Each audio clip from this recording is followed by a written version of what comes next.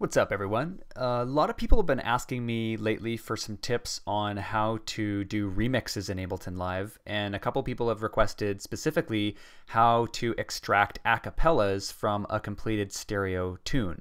So I'm going to show you a couple of techniques in uh, over a couple of videos here about how to use a few of Ableton's tools to grab the vocal out of a completed tune where you can't grab an acapella normally, how to create your own acapellas effectively. So I've grabbed a tune from one of my uh, good friends. He's a singer and songwriter from uh, Calgary, Alberta, and his name's Angus Wilson. He's uh, a beauty of a singer, amazing guy. Uh, ch definitely check him out. His music is all over iTunes. And I've grabbed one of his songs right here, and I'm just going to use it as an example uh, because hopefully he won't sue me for using it. So big ups to you, Angus, for letting us use your tune. Appreciate it. And uh, here's a little clip of the track so you guys can get a feel for what we're going to be working with. I was younger. I was just too young to tell my older brothers. Okay, so you can hear in that tune we've got the vocal, we've got a drum kit, kick, snare, and hi hats, and we've got a bass, and we've got guitar. And so this is going to be a pretty challenging piece to work with, I can already tell, because usually when, with a vocal, you're looking to be able to isolate it by frequency range. And unfortunately, what really sits in the same frequency as the vocal is guitar and a snare drum. So I know we're going to have a bit of a challenging time. So the first thing we're going to use is an extreme EQing technique. So we're going to go up here and grab Ableton's EQ plugin, uh, the EQ8, and we're going to use this to extract as much of the vocal and eliminate as much of the other elements as possible. Now normally what I'd be doing is I'd be using the EQ8 here to, to roll off the, the bass in the low end and maybe take off some, some high in the top end or find that snare drum and, and take that out. However, uh, that's not going to work as well as we might hope in this scenario. It doesn't produce the best results. So thankfully, this EQ has a special mode that a lot of people don't really ever use on it, and it's called MS. And what MS is, is it stands for mid-side, and it splits the EQ into basically two EQs. You get one EQ curve and spectrum for anything that's coming right up the middle, your mono information effectively, the, the information that is the same between your left and right channels. So that's what this is. This is mid and you can click right here and it goes into S mode or side mode and then you get a completely separate EQ on the material that differs between the left and the right.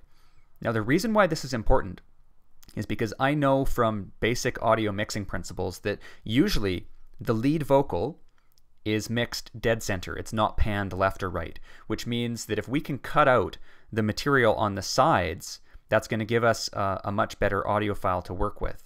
Now, obviously, when we're removing audio, audio information and we're EQing things, we're not going to get something as clean as the vocal just isolated on itself by its own.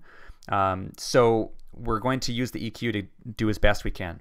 First thing I'm going to do is I'm going to put the EQ into mid mode and I'm going to take this and I'm going to remove everything. I'm basically going to take this high pass, I'm going to remove everything up the middle channel. What this is going to allow us to do is to hear what's going on in the sides, and I want to hear if the vocal's been panned at all. So if the vocal's been panned anywhere other than dead center, we're going to hear the vocal in here, because the only thing that shows up in this area are things that have been panned. So let's have a listen to it and find out what's going on in the sides.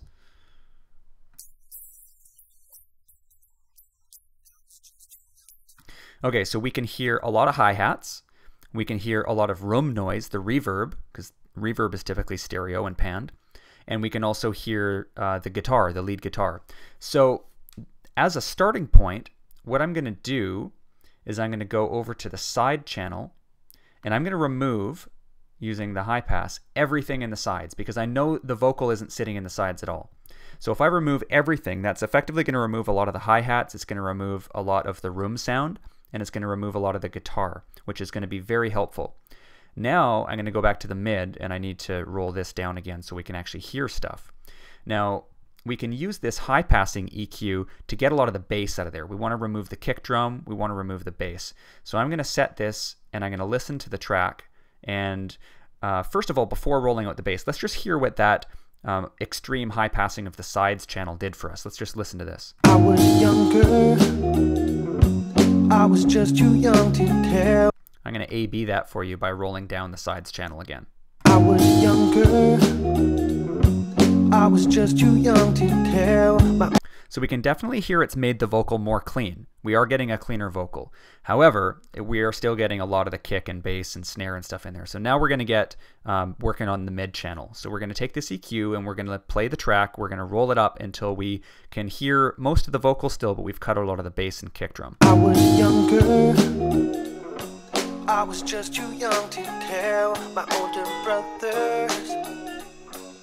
They knew me way Now the balance here is to get it high enough that you're cutting out the kick and the bass, but not so high that you're giving the vocal a extreme high passed feel. So that's good enough for me right there around 625 hertz. Very next thing I'm going to want to do is I'm going to put this uh, EQ4 into a shelving mode and I'm going to use this to slice out a bit of the uh, hi-hats and I'm just going to gain it down a little bit and I'm going to take this up and use that to take out a bit of high end. I was younger. All right, now the main problem we have is the guitar and the snare drum are still conflicting with the vocal.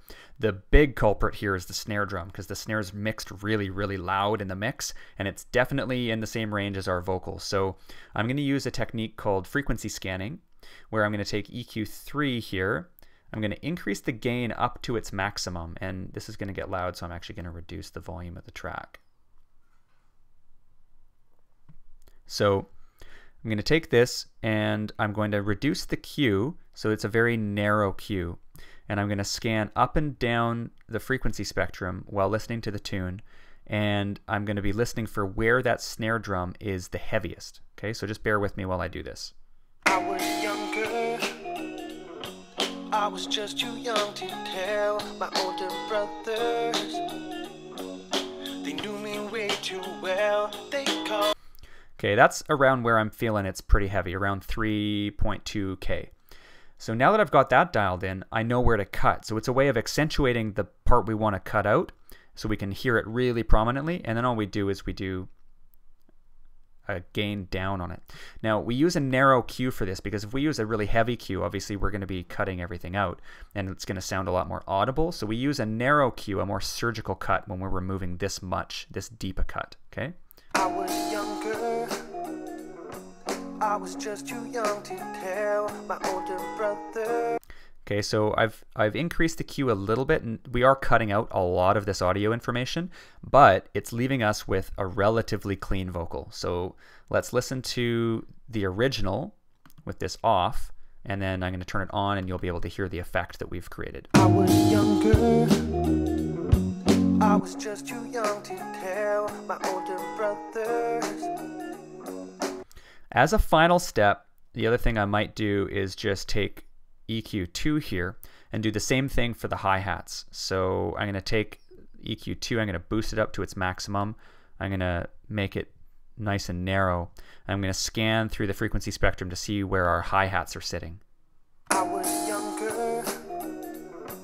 I was just too young to tell my older brothers. That's about where the hi-hats are heaviest in the mix. So now I'm going to take that surgically cut down, reduce the Q a little bit. I was younger. I was just too young to. Yeah, that's a good sweet spot for uh, for this uh, acapella right here. So obviously not as clean sounding as if we just had the clean acapella without any other instruments in there, but this has gone a, a long ways to getting us a cleaner vocal than we otherwise would have. We've cut the bass out, the kick drum out with the high pass, and then we've used the the removing the sides of the equation with the mid side EQ to remove the room sound and the panned elements of the hi hats and guitar. And then we've used some really, really tight, narrow surgical EQ cuts to reduce the impact of the uh, really heavy snare drum and the hi hats. Next up in the next video, I'm going to show you a separate technique to add in addition to this using some downwards expansion using Ableton's multiband compressor. So stay tuned for that. Thanks.